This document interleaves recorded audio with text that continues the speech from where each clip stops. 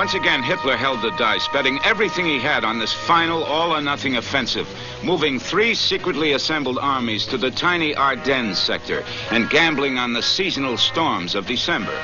For as long as Allied airplanes were grounded by bad weather, the Nazi armies could attack in surprise, break through, and Hitler was sure win. For the Allies, the Ardennes was a comparatively peaceful area where new divisions could be gently inoculated in combat. But the thoughts of these SS Panzermen were far less peaceful.